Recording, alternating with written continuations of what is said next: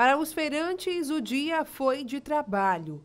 Gelson avalia as perdas e retira o material que foi queimado, enquanto pensa nos amigos que estão no hospital. Conhecia todo mundo, né? Todo dia a gente convivendo, né? Eles sempre vinham aqui, aqui à frente. Eu acho que é um pouco difícil agora a loteria voltar, né? Pra gente aqui, que era até tão legal aqui ao lado. O laudo da Defesa Civil deve ficar pronto em 30 dias. Como o prédio é patrimônio histórico, a restauração tem que ser feita por profissionais do Instituto do Patrimônio Histórico e Artístico. O incêndio não abalou a estrutura, então nós vamos fazer uma análise da estrutura, uma reanálise, trabalhar, tá certo? Essa parte que vai ser interditada. O mercado vai continuar aberto e, aos poucos, os trabalhos devem voltar à rotina normal.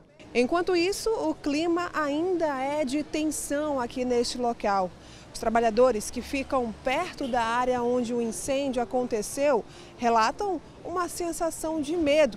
Isso além do prejuízo com perdas de mercadorias.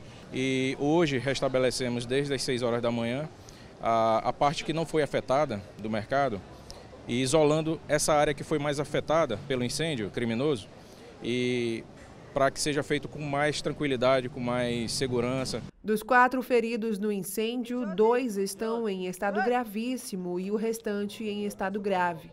O venezuelano que ateou fogo no local também segue internado após ser espancado pela população.